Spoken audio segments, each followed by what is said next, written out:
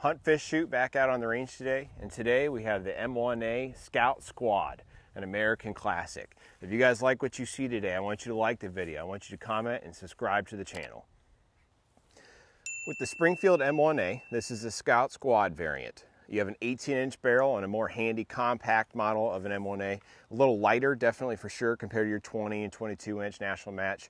Um, with this one, you're still gonna get a national match trigger in it. So the trigger on it is very crisp and clean. Uh, it's got your standard safety that's up here on the trigger guard for you. And then you got your, your mag release on the front there too with the M1A.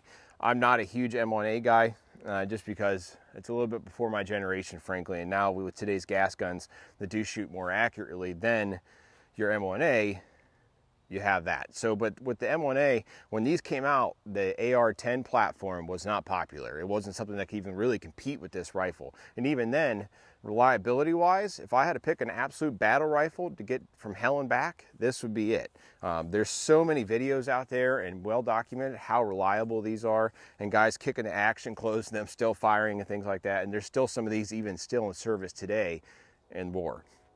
But overall, it's just a very well built rifle. Um, definitely hard use type. Nice big old charging handle on there with it. And then you have slings front and back uh, and then you have a nice muzzle brake up here that's proprietary to the M1A. Uh, it does a great job of really mitigating that recoil today. So we're going to shoot it quite a bit. Uh, different shooting styles, different, you know, a little bit of transition type drill in there too. With this rifle, uh, we do not have any optics on it. I want to keep it more of its classic configuration. Obviously, these started off as your M1 Garand, uh, and then they evolved into this with the magazine variant instead of your actual clip or stripper clips. It does have the ability to take those type of clips on it. Um, there is a sight rail up front here for you. You can mount a scout type scope, or you can do a red dot on it. I'd probably just do a red dot if, it's a, if I was going to put an optic. But then on the side here, you do have a screw, and that's to attach your optics mount. Um, so that way you can put an actual scope and a configuration you'd put on any other rifle. Again, this rifle just has a sweet feeling to it. It's a little heavy, but that heft on it will really help mitigate that recoil. And you guys are gonna get to see that today. I'm gonna shoot it from the prone position out to 100 yards and we'll hit some steel with it. Obviously not super close because I'm not in the mood to damage all our steel today, but this rifle is awesome and it is one sweet rifle. So I hope you guys like what you see today, so follow along. All right, we're out here at 100 yards. I've got the 20 round mag loaded up, not all the way, uh, but I do have some federal ammunition in here. It's 168 grain ammo with your open tip match ammunition. So let's give this some shots, see how it does.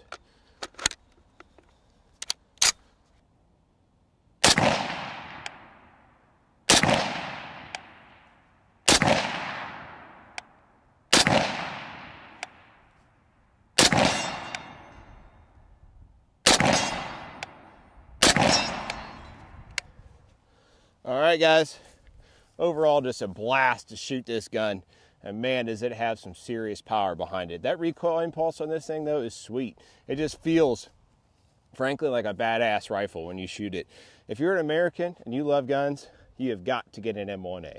So let's shoot this a little bit more. I do a little bit of transition for you guys.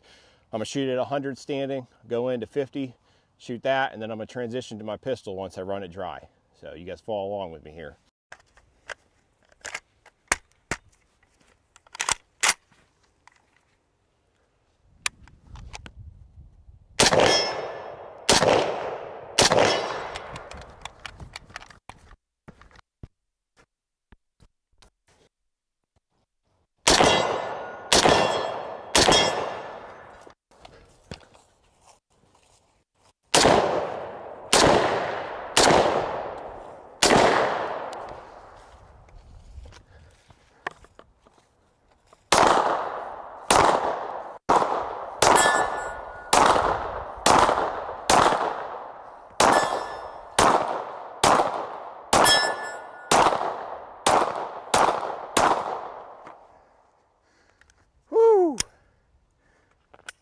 Felt good, guys. That M1A is so much fun to shoot. Man, that is just an absolute bruiser of a rifle. If you really, if you're gonna pick an apocalyptic type gun, this one will fit that bill. Um, everybody loves their AKs, but when you take a rifle with the capability of a 308, with the reliability that you get with your M1A, that's such a hard use type rifle, I don't think you can beat it. And honestly, if I was going to pick between an AR-10 and this, I'd take this. Not only has it got the cool factor, it's a classic type rifle, and I just, I freaking love shooting this thing. It is a sweet rifle. So shoot a couple more times and then we'll go with some ending range notes. Woo! Man, that thing is sweet.